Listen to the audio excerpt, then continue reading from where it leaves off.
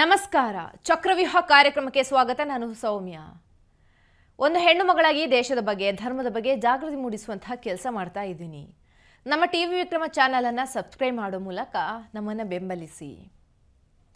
Yogi Adityanath, bulldozer ಬಾಬಾ ವಿಧಾನಸಭೆಯಲ್ಲಿ ಮಾತನಾಡುವಾಗ ಮಹಾಭಾರತವನ್ನು ನೆನಪಿಸ್ಕೊಳ್ತಾರೆ. ಕೌರವರು ಒಂದು ಸಲ ಬುದ್ಧಿವಂತಿಕೆ ಉಪಯೋಗಿಸಿದ್ರೆ ಆರಾಮಾಗಿ ಹೆಚ್ಚಿನ ರಾಜ್ಯವನ್ನು ಇಟ್ಕೊಂಡು ಇರಬಹುದಿತ್ತು. ಪಾಂಡವರು ವನವಾಸ ಹಾಗೂ ಅಜ್ಞಾತವಾಸವನ್ನು ಮುಗಿಸಿ ಬಂದ ನಂತರ ಕೃಷ್ಣ ಪಾಂಡವರು ಹಾಗೂ ಕೌರವರ ನಡುವೆ ಒಂದು ಸಂಧಾನ ಮಾತುಕತೆ ನಡೆಸ್ತಾನೆ. ದುರ್ಯೋಧನನ ಬಳಿ ಬಂದ ಕೃಷ್ಣ ಸುಮ್ಮನೆ ಇಷ್ಟೆಲ್ಲ ಯಾಕಾಗಿ? ದ್ವೇಷವನ್ನೆಲ್ಲ ಬಿಟ್ಟು ನ್ಯಾಯಯುತವಾಗಿ ಪಾಂಡವರಿಗೆ ಅರ್ಧ ರಾಜ್ಯವನ್ನು ಬಿಟ್ಕೊಡು ಅಂತ ಕೇಳ್ತಾನೆ.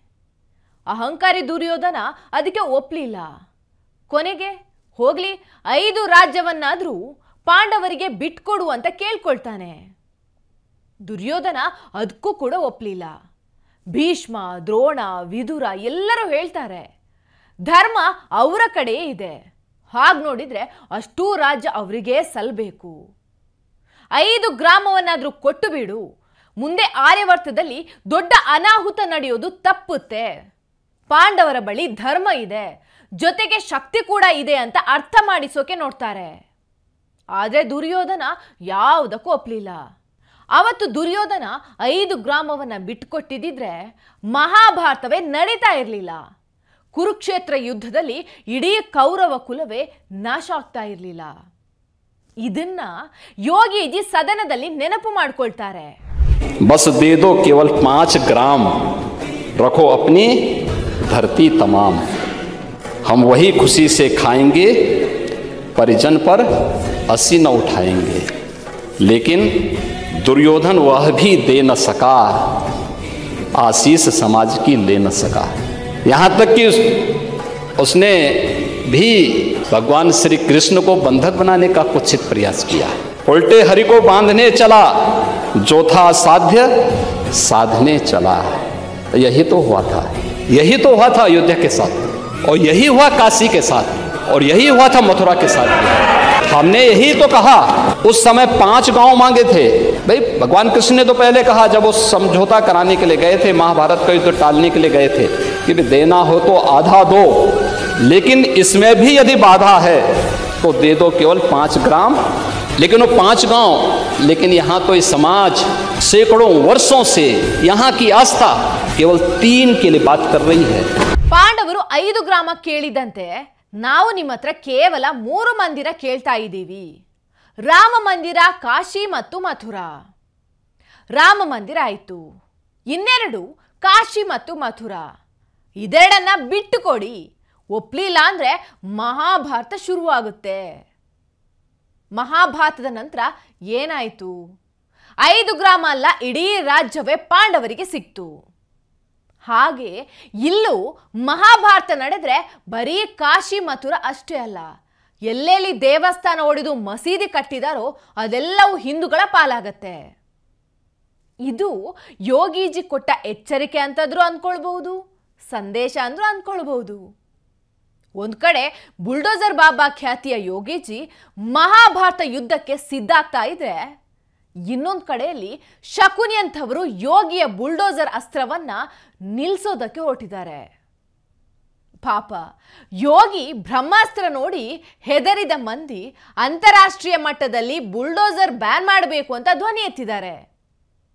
ತಮಾಷೆ ಅಂದ್ರೆ ಬುಲ್ಡೋಸರ್ ಕಂಪನಿಗೆ ಹೋಗಿ ಇದನ್ನ ನೀವು ಬ್ಯಾನ್ ಮಾಡಿ, ಇಲ್ಲಾಂದ್ರೆ ಯೋಗಿ ಬಳಿ ಇದನ್ನ ನಿಲ್ಲಿಸೋದಕ್ಕೆ ಹೇಳಿ ಅಂತಿದ್ದಾರೆ. ಆಮ್ನೆಸ್ಟಿ ಇಂಟರ್ನ್ಯಾಷನಲ್ ಮಾನವ ಹಕ್ಕುಗಳ ಒಂದು ಸಂಸ್ಥೆ. ಇದು ಲಂಡನ್ನಲ್ಲಿ ಒಂದು ರ್ಯಾಲಿಯನ್ನು ಕೈಗೊಳ್ಳುತ್ತೆ. ಅದರಲ್ಲಿ ಒಂದೇ ವಿಷಯ, ಯೋಗಿ ಹತ್ರ ಬುಲ್ಡೋಸರ್ ನಿಲ್ಲಿಸೋದಕ್ಕೆ ಹೇಳಿ ಅನ್ನೋದು ಶಾಂತಿ ಪ್ರಿಯ ಮುಸ್ಲಿಂ ಪ್ರಾಪರ್ಟಿ ಮೇಲೆ ಯಾಕೆ ಬುಲ್ಡೋಸರ್ ದಾಳಿ? ಆ ಆಸ್ತಿ ಏನು ಬುಲ್ಡೋಸರ್ ಮಾಲೀಕನದ್ದ? ಬಲಪಂಥೀಯರು ಮುಸ್ಲಿಮರ ಆಸ್ತಿ ನಾಶ ಮಾಡೋದಕ್ಕೆ ಹೊರಟಿದ್ದಾರೆ. ಇದನ್ನ ಕಠಿಣ ಕಾನೂನು ಶಿಕ್ಷೆ ಅಂತ ಹೇಳ್ಕೊಳ್ತಾರೆ. ಹೀಗಂತ ಯೋಗೀಜಿಯ ಮೇಲೆ ಆರೋಪಗಳನ್ನು ಮಾಡ್ತಾರೆ.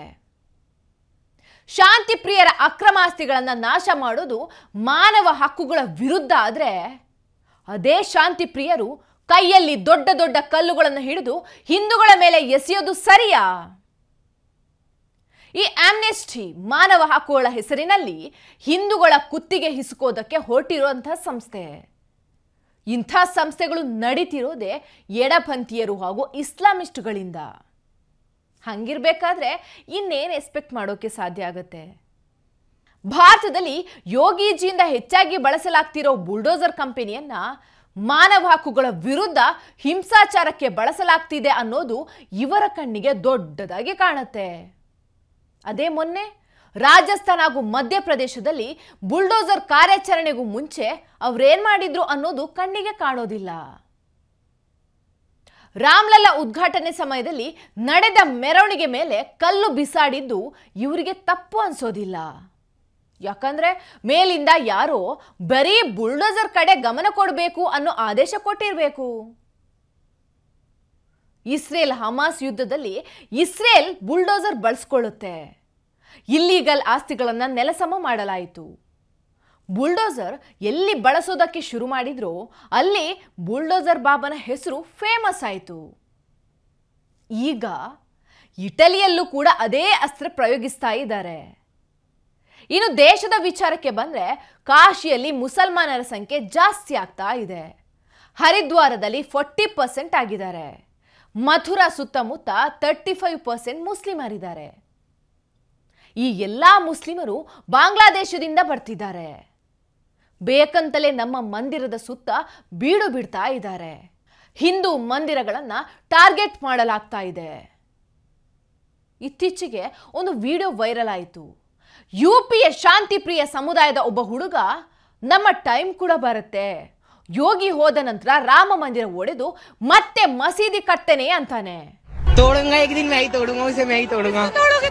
तोड़ूंगा एक दिन मैं ही तोड़ूंगा उसे मैं ही तोड़ूंगा तोड़ोगे तो मंदिर को किस मंदिर को राम मंदिर को हम ही तोड़ेंगे सब सरकार चेंज होती ही हमारा राज होगा क्या करोगे सरकार चेंज हो जाएगी मंदिर तोड़वाएंगे सब में पहले मस्जिद बनवाएंगे दोबारा ಇಂಥ ವಿಡಿಯೋ ಕಾಮನ್ ಆಗ್ತಾ ಇದೆ ಇಷ್ಟು ಕಠಿಣ ಕ್ರಮ ಇದ್ರೂ ಕೂಡ ಇಷ್ಟೊಂದು ಮಾತಾಡೋರು ಹಾಗೆ ಬಿಟ್ರೆ ಸುಮ್ಮನೆ ಇರ್ತಾರಾ ಆಲ್ರೆಡಿ ನಾವು ಬೇಕಾದಷ್ಟು ದೇವಸ್ಥಾನಗಳನ್ನು ಕಳ್ಕೊಂಡಿದ್ದೀವಿ ಮಂದಿರದ ಮೇಲೆ ಮಸೀದಿ ಮದರಸ ತಲೆ ಎತ್ತಿದೆ ಅಂದ್ರೆ ಅದು ನಮ್ಮ ತೆರಿಗೆ ಹಣದಿಂದ.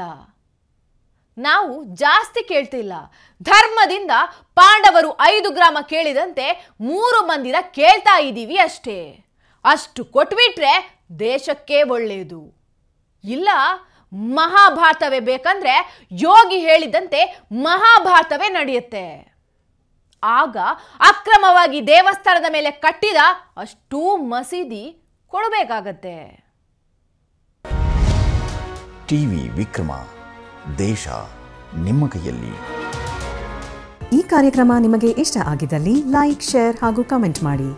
ಟಿವಿ ವಿಕ್ರಮದ ಕಾರ್ಯಕ್ರಮಗಳನ್ನು ನಿರಂತರವಾಗಿ ವೀಕ್ಷಿಸಲು ಸಬ್ಸ್ಕ್ರೈಬ್ ಮಾಡಿ ಬೆಲ್ ಐಕನ್ ಒತ್ತಿ.